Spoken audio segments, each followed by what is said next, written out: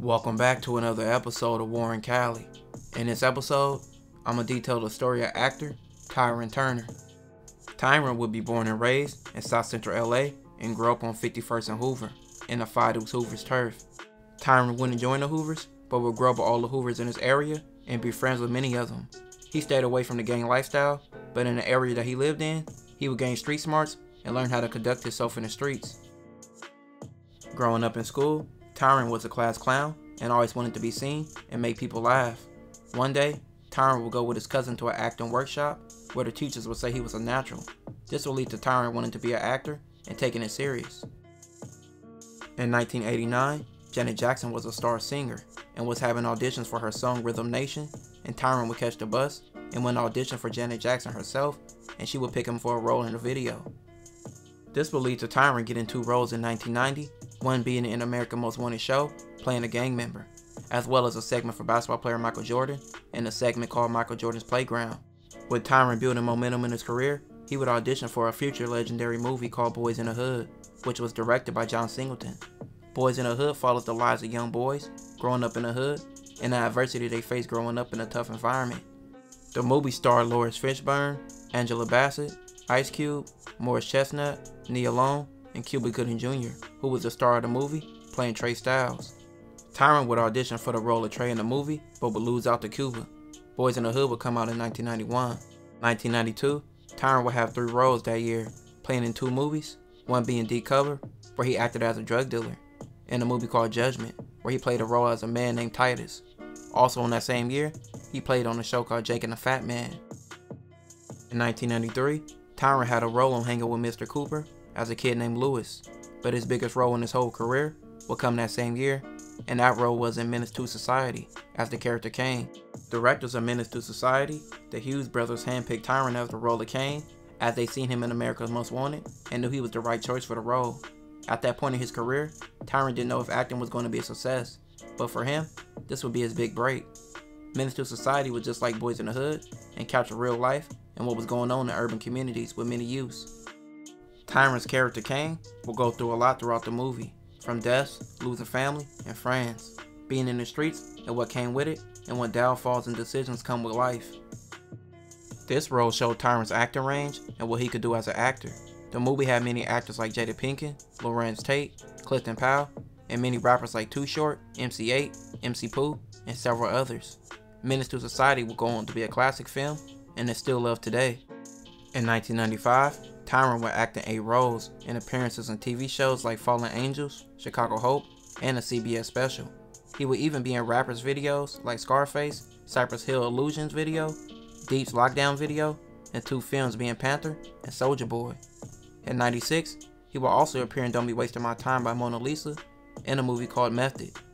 In 1997 and 98, Tyrin played in TV show New York Undercover and made appearances in music videos for rappers like C-Bo, The Geto Boys, and Scarface again. He also appeared in movies like Little Boy Blue. And another well-known movie would come for Tyrin. He played in a movie called Belly that came out in 1998. Belly was another classic movie that starred rappers Nas and DMX, and also featured other people like Method Man and T-Boz from TLC among others. Tyrin's role as Big Head Rico would be an iconic role in Belly, off his lines and how he acted and how he looked. Big Head Rico was a snitch and a notorious hater, so Tyrin didn't like that role after being promised a lead role, which later became DMX's part in the movie. Tyrin even tried to ruin the movie, but it made it even bigger success.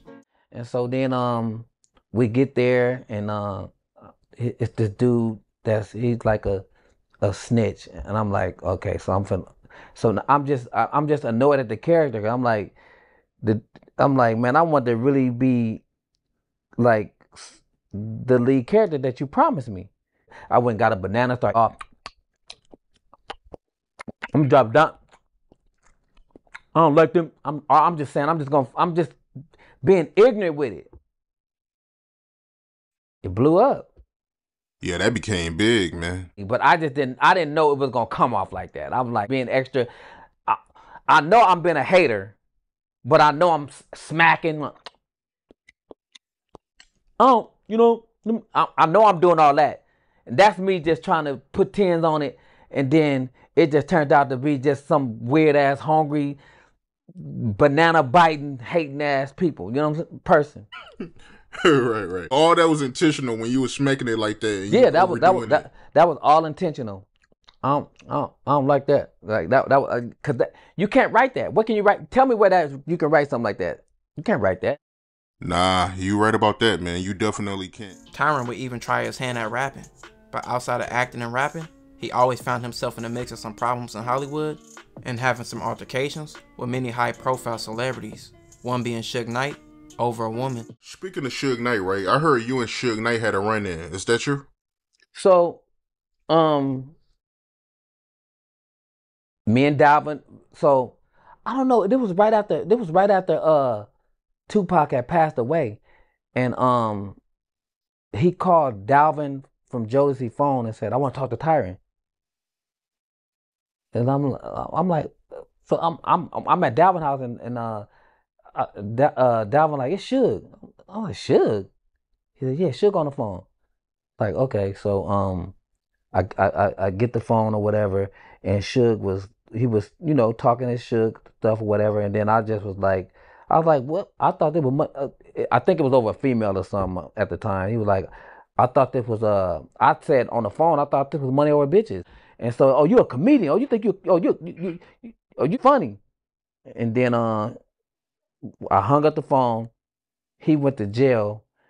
He never forgot that conversation. Nine years later, he came back. We at the club. I'm in a club. He sees me. We catch eyes. He pushes Busta Rhymes out the way to get to me. Like he did. It was just like it's like he did in slow motion, cigar, shoulder moving like that. He said, um, "Why you looking hostile?" We looking at each other eye to eye. Like he like he said, "Why you looking hostile?" And I'm just looking at him. He got like a gang of bloods around him. I look him and we we just looking at each other. He was like he was like, you know, I if I wanted to, you know, I can have something done done to you. I'm I'm like I'm just like Dalvin Dalvin over there looking like Tyron, please don't. Dalvin know I'm like finna like and I'm like, but I'm not dumb. Like I told you, it's defense, right? So you gotta know your surrounding, know the energy, know the world. I look at the situation, the energy, I'm like, nah, this ain't the it's not the right time for to do nothing weird. interviewed Tyron Turner, who was in Menace Society, and he spoke of a situation where he uh, got J. Prince, or J. Prince came to him or whatever to help fix a situation between himself and Suge over a female. Do Do you remember if that ever happened, and if so, what it was about? Well, see, the timelines don't match up to the female that I know. Timelines don't match up because he made it seem like this was like two thousand or less than it lingered on. That's Tyron. And so I guess he, he always said Tupac trying to be Bishop, trying to be Caine, I think. Talking around it because I know who the female is and I know it's going to get her in the comment sections and being mad. But the time that I know, uh, happened during like that Suge and Tyron had a problem behind the female. 95, 96, 90, 94, 95, something like that. Tyron had Michel'le. Uh, and us not knowing that she obviously had something going on with Michel'le, uh, secretly. And um, so Ty- Tyron, Tyron, no, Tyron. But I like the word he used recently where he said, I never had a, a fair one, a, a fight that I initiated, which that makes sense. Because Tyron know he got his ass whooped behind Michel'le. Tyron would even have a fight with Napoleon from Tupac's group, the Outlaws. uh, one of my dearest friends to this day, right? So Dalvin's like a, you know, he, you know, he he a ladies man, you know what I'm saying? He like he love, you know, hey, he, he love the women. So, so I for some reason, I he didn't ran across the, you know, him and Mutah, they they they they kind of like dealing smashing the, the same girl. You know what I mean? I don't know what's going on. So they this don't have nothing to do with me at all. So so so the, uh, I don't know if Mutah got his phone number. I don't know what I don't know the full parameters. I don't know what happened, but they had words on the phone. So when I, you know, when I see you, it's on. Had that same energy. Woo, woo, whatever, whatever. Woo, woo, woo. That Mutah was going to the same studio Dalvin going to. I, I had, I didn't, I didn't know that. So we get there, and we walking. Me, Dalvin, and then Mutah. I guess he walking or whatever, and I just hear somebody say, "This ain't no anybody can get. Anybody can get it." I'm like, "Damn, anybody can get it." I, that mean me. I'm I'm I, I you feel me? So the way I see it, this is the way I see it. Once he say that, I turn around and I I do what I'm supposed. I feel like I did what I you know what I mean. I did me. So then at that point, I, I feel like I took off and then they was like, no, no, let's go in the street. Cause I'm just where I come from, I just feel like, man, like it's a problem. I just want to, I, I want to take off. Like that's just, it, we know it's something. I'm taking off. You know what I mean? So we go in the middle of the street. You know, we got a, it's kind of like a crowd, crowd. You know what I mean? So we get in the middle of the street, and we get down. You know what I mean? We get down. I do my thing the way I do it, and from, from you know what I'm saying, like, and I can, I, I feel like I can fight. I'm not gonna say I won or lose, but I'm gonna tell the world this: I can actually fight. I can fight. So I, in my own way, I I was fighting, and I was doing a good job at what I was doing. When the gun fall out, I see the gun. This could be this this this could go all bad now because this is this is different. There's a pistol involved. I I just want to I just want to get out and squab like ah hey the, gunplay like it you know what I mean. But it was kind of like this is where it need to end. You know what I'm saying? Like it it it was kind of like nah I'm I, I I'm good. There was no uh winner in that situation. A, a fight, whatever. That's that's the whatever. The the the winner was that me and him fought like men. The winner was that no one was a so- no one was a sore loser. I don't want to say I don't want to say lost. I don't like that's not I didn't I didn't come here to say lost. You know what I mean? I'm just saying that I did what I had to do and he was a man about what happened. That's all I can tell you. And I respect him and he could have pushed the line and made it a lot more worse. That's what I'm saying. And he didn't do that. And that's why I really want to get a win to him. You had a fight, Because- bro. and that's a good dude, man. We got we we we became, you know what I mean. Uh, we respect each other, you know what I mean. But the fight, you know, we had a fight. We was in L.A. and he was with Jodeci, and we had some words, you know what I mean. We had some words. It's probably can't go into what's the reason. It probably was something ignorant, but we was having some words together, and he was with um Jodeci. A few did with um with Tyron, you know what I mean. And um we already had some words. So when I see him, and I'm strapped, you know what I mean? I, you know, in LA, I used to keep a strap on me. So when I seen him, we started arguing. I was like, man, you an actor. Like you can't, you know what I mean, man? Don't th- this not been in society. Get out of here with that actor stuff. See, a lot of time people be thinking because you see an individual on the on the movies or on television, we be thinking they soft. But Tyron really grew up in the hood, you know. So I'm, I'm we started fighting. You know, Tyron is in shape, and this this is the time I was overweight, drinking, and we fighting, bro. And um, I keep it a hundred.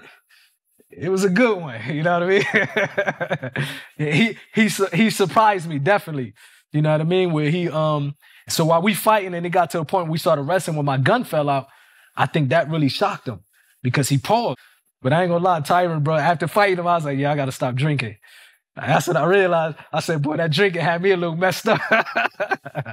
but respect to him, and that, and after that, we spoke like men, and we had we, we, we respect each other. You In the 2000s, Tyrin's career wouldn't see stardom like he did in the 90s. He wouldn't land any big name roles, and this would lead to him being in many low budget films throughout the 2000s, like 2001's Flossin', 2003's Crime Partners, 2007 Rap Sheet, Hip Hop Cops, 2008 Night Tales, 2009 Day in the Life, and in 2010, he acted in Ghetto Stories, the movie, which was a film by rappers Webbie and Lil Boosie.